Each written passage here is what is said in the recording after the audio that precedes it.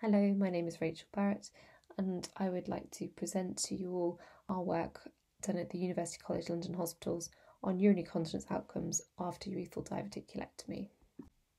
I have nothing to disclose. As we know, urethral diverticulum is a rare condition. It is known to be associated with urinary incontinence, but the true instance of this and the best way to manage it is not known due to its rarity and therefore the paucity of evidence in the literature. We report our large series of patients undergoing urethral diverticulum excision with a focus on continence outcomes with this in mind. Our retrospective analysis identified 122 consecutive patients over a 13 year period undergoing urethral diverticulum excision with Martius fat pad interposition. All patients have a minimum follow up of 12 months. The data we collected is outlined on the slide.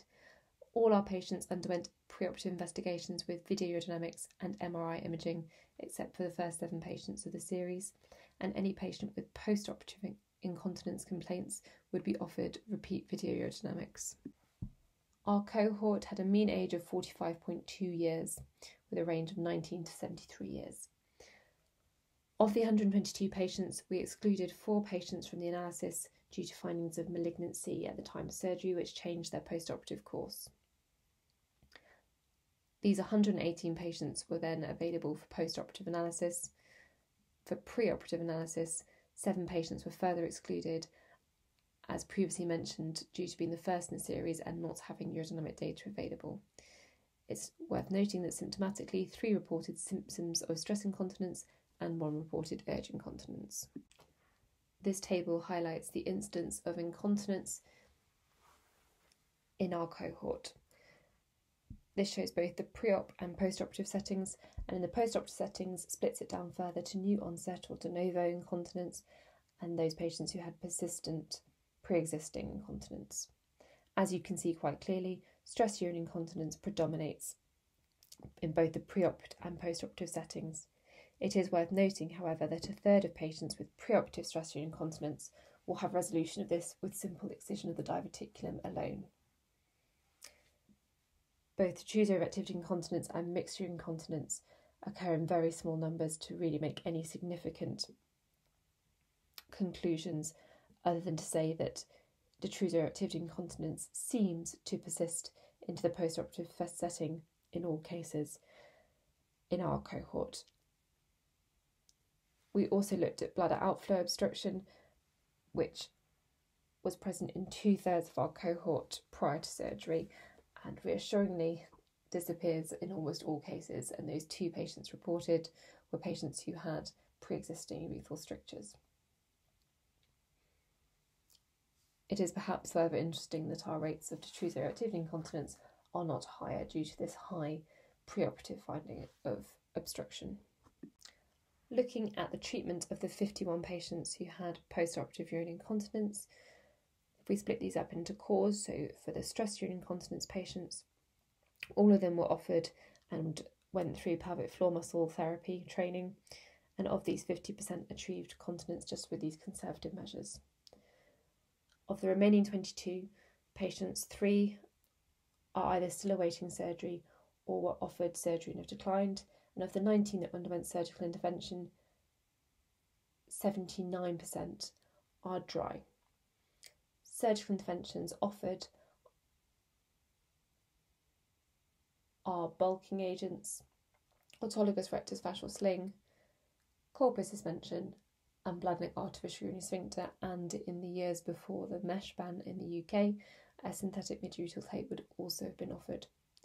It's worth noting that no patients have had a colposuspension or a bladder neck artificial urinary sphincter in this series. For the patients with detrusor overactivity incontinence, again, all started with conservative measures, including bladder retraining, pelvic floor muscle therapy, and medication, and 50% achieved continence with this alone. The remaining two patients were offered all options for detrusor overactivity incontinence, including intravesical Botox injections, sacral neuromodulation, and peripheral tibial nerve stimulation, both opted for Botox treatments and are dry.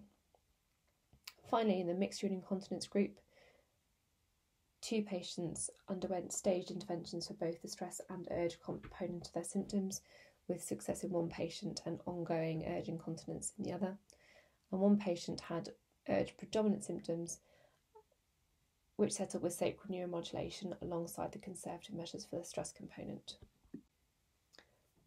This is a large cohort in the literature, and it gives us an idea of the possible true incidence of incontinence in these patients. But it is worth acknowledging that the majority of our cohort have complex diverticula, and therefore the post-operative incontinence rate should be interpreted in light of this. We feel it's important to highlight that a third of patients have resolution of their incontinence simply by excising the diverticulum alone. And of those that are symptomatic postoperatively, 50% improve with conservative measures alone. And this all supports um, a more conservative strategy of treating the diverticulum first and then treating subsequent incontinence later. We use a Martius fat pad as we feel this makes this a, a healthier plane to be coming back to for a second procedure.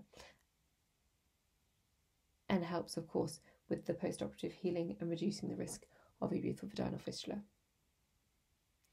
This study also shows that the surgical management of ongoing incontinence after diverticulectomy is effective, and the success rates mirror those uh, for primary incontinence procedures. To summarise, we find that urinary incontinence is found at 31.4% of patients at presentation with a diverticulum and 43.2% after diverticulectomy. Pre-operative stress incontinence will resolve in 35.3% of cases without any intervention. Conservative treatments for post-operative urinary incontinence are successful in 47% of cases, and of those cases refractory to conservative interventions, we can achieve continence in 79.2% of cases with surgical intervention.